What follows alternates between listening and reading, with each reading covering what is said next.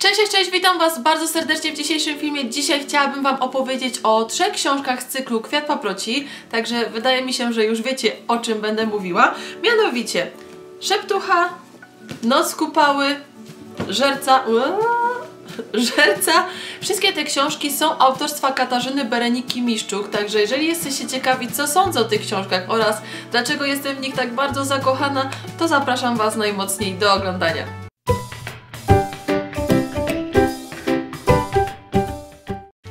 Książkę powinnam trzymać, ale wydaje mi się, że będę je co jakiś czas wymieniała, żeby Wam się one nie znudziły oraz żeby Wam się nie znudziła tylko moja facjata. A zacznę od szeptuchy, e, ponieważ to na temat szeptuchy chciałabym najwięcej powiedzieć. Wydaje mi się, że pierwszy tom to taka kwintesencja całego cyklu, a ponadto jeżeli nie czytaliście drugiego i trzeciego tomu, to też Wam praktycznie niczego nie zdradzę, więc jest to recenzja bezspoilerowa. Oprócz tego fajnie, gdybyście zostali do końca, ponieważ na samym końcu opowiem Wam, jak zdobyć jeden egzemplarz szeptuchy, także gdybyście byli zainteresowani, to zapraszam do wzięcia udziału w rozdaniu. E, ok, to tutaj odkładam i Askan ponownie wędruje po moich poduszkach. Już? Ok. mam nadzieję, że nie mam szminki na zębach, ponieważ ta szminka uwielbia się przemieszczać i gdzieś tam e, zostać na zębach i w momencie, kiedy się uśmiecha, nagle jest pełno szminki na zębach, a to nie jest fajne. Dobra, okay. żeby już nie przedłużać i żeby nie mówić o byle czym, zacznę już mówić o samych książkach, więc wyobraźcie sobie Polskę, w sumie nie trudno sobie to aktualnie wyobrazić, i gdy powiem kolejne zdanie, również nie trudno będzie sobie to wyobrazić. Dobra. Wyobraźcie sobie Polskę, XXI wiek, mamy telefony, komputery, są supermarkety. E, ogólnie rzeczywistość jest bardzo podobna do tej rzeczywistości, którą znamy. Więc zasadniczo rzeczywistość przedstawiona w książkach Katarzyny Bereniki Miszczuk niczym się nie różni. Z jednym małym wyjątkiem. Małym, ponieważ w książkach Katarzyny Bereniki Miszczuk w 966 roku Mieszko I nie przyjmuje chrztu. Wiąże się to z tym, że państwo polskie jest królestwem rządzonym przez piastów, e, ale nie tylko to właściwie uległo zmianie. Mianowicie Polacy cały czas wierzą w bogów słowiańskich, więc nie mają jednego boga, mają kilku bogów. Są to tacy bogowie jak Światowit, Swarożyc, Mokosz, Wales i tak dalej, i tak dalej. Mogłabym tutaj e, sporo jeszcze bogów wymienić. Oprócz tego istnieją boginie, demony, no i wszystko, co moglibyśmy właściwie powiązać z mitologią słowiańską. Więc ta rzeczywistość, pomimo tego, że zaskakująco podobna do naszej, jest zupełnie inna. Pomimo tego, że zwyczaje, które zostały tutaj zaprezentowane są nam również bardzo dobrze znane. Mianowicie jest tutaj na przykład malowanie jajek na Wielkanoc, tylko że Wielkanoc to zupełnie inne święto, topienie marzanny, przystrojenie snopków siana, ewentualnie jak ktoś jest bardziej zachwycony kulturą zachodu, e, to strojenie choinki. Także ta alternatywna rzeczywistość, pomimo tego, że jest zupełnie inna i różna od tej naszej, to jest zaskakująco również podobna. Jeżeli chodzi o same książki Katarzyny Bereniki Miszczuk, nie skupiamy się tutaj na wątkach historycznych czy też politycznych, chociaż takie również się tutaj zdarzają.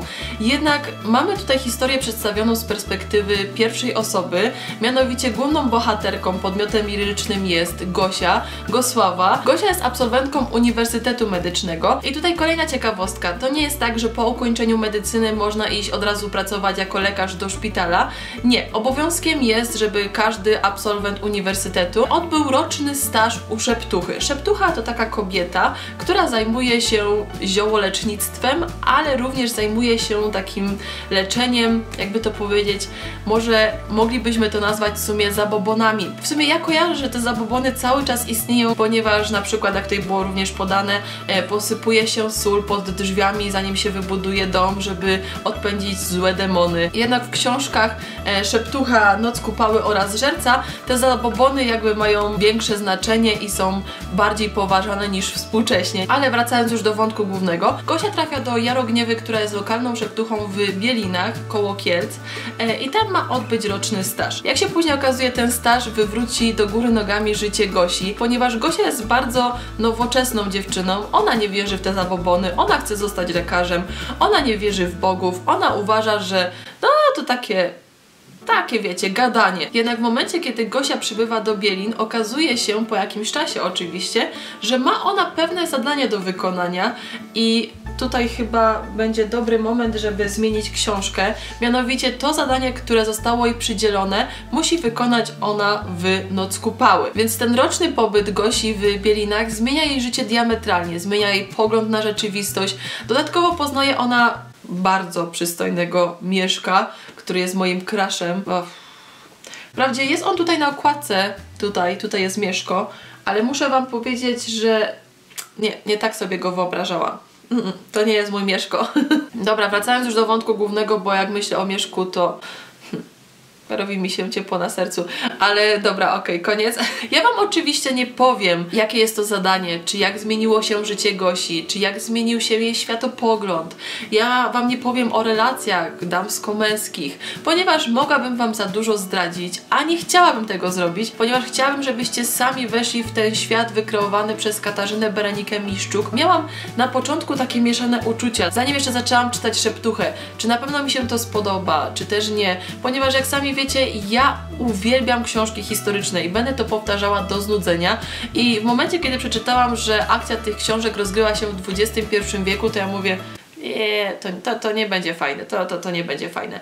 Ale muszę Wam powiedzieć z ręką na sercu, że nie wiem, co mi strzeliło do łba, że tak myślałam, ponieważ ja jestem zakochana w tych książkach i 9 maja jest premiera czwartego tomu. Na okładce znajduje się Swarożyc i ta okładka jest tak ognista jak sam Bóg, ale no po prostu uwielbiam te książki i słyszałam, że ten czwarty tom ma być tomem ostatnim i nie wiem, czy już mogę zacząć płakać, czy dopiero w momencie, kiedy skończę czytać czwarty tom. W każdym razie, jeżeli chodzi o książki z cyklu Kwiat Paproci, zaraz przejdę do mojej opinii, więc ja już więcej nic nie powiem, jeżeli chodzi o samą fabułę. Mam nadzieję, że Was zainteresowałam, zachęciłam, że nie zdradziłam Wam za dużo, bo nie chciałam tego zrobić.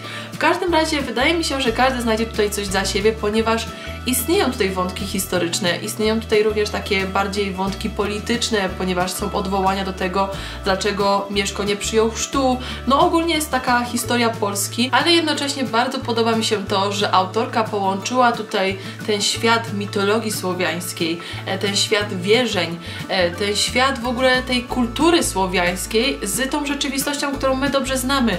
I w momencie, kiedy mamy takie zwyczaje, jak na przykład skakanie przez ogień, czy też łapanie na przykład wianków, co jest niezwykle romantyczne i po prostu Uwaga, teraz będzie prywata, ponieważ ja chyba, jak dobrze pamiętam, dwa lata temu, zresztą pisałam o tym na swoim blogu, który umarł śmiercią naturalną, więc jeżeli będzie jeszcze tam ten wpis, to umieszczę go w opisie.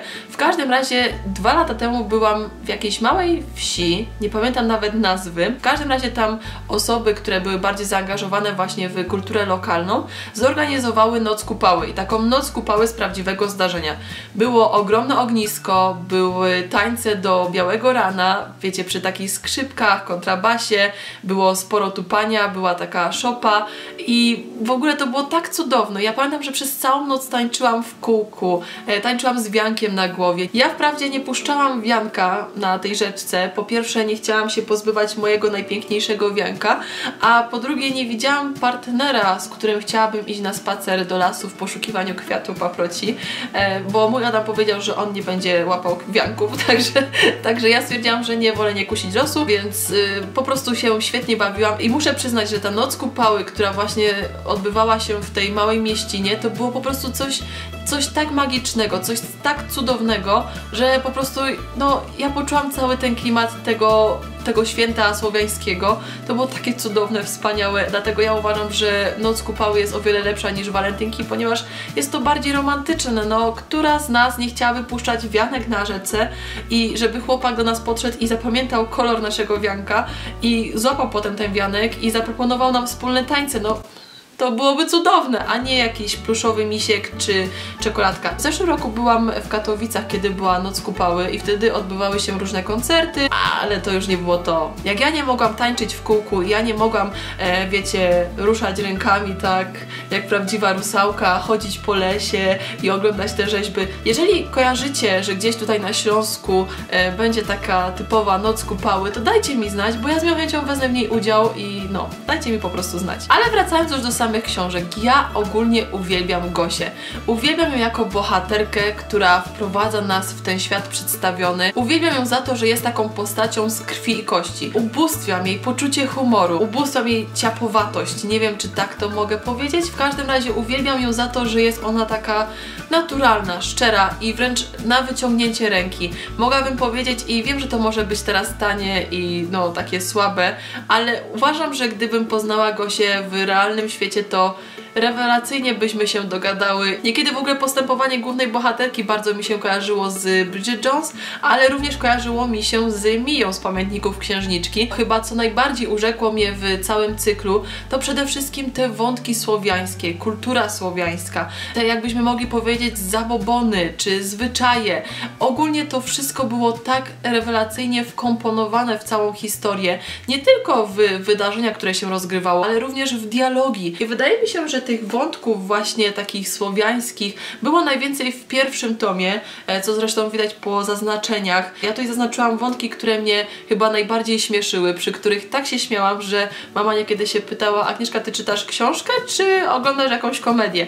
Nie, naprawdę, te myśli głównej bohaterki niekiedy sprawiały, że tak się śmiałam, że nie umiałam się powstrzymać. Podoba mi się to, że właśnie te wątki słowiańskie, które ja uwielbiam, to jest tak umiejętnie wkomponowane w całą historię, że to nie przeszkadza, że nie mamy tak, że jest teoria, a następnie jest praktyka. Nie, mamy to tak super po prostu wymieszane. Pierwszy tom chyba miał tego najwięcej, kolejne tomy mają tego mniej, ponieważ tam już coraz więcej tych wydarzeń się zaczyna rozgrywać. Ta akcja idzie do przodu, pojawiają nam się nowe postacie, nowe okoliczności już więcej nie mówię. Niemniej jednak chciałam jeszcze zaznaczyć, że kulminacja tego zadania, które ma do wykonania Gosia jest opisane w drugim tomie, mianowicie w Nocy Kupały. Ten zabieg bardzo mi się podobał, ponieważ często mamy tak, że w pierwszym tomie poznajemy coś, co ma się wydarzyć, rozciąga nam się to na przykład na 3-4 tomy i dopiero kulminację tego, co ma się wydarzyć, że tak powiem, masło maślane. W każdym razie często nie mamy tej kontynuacji, nie mamy pociągnięcia tego wątku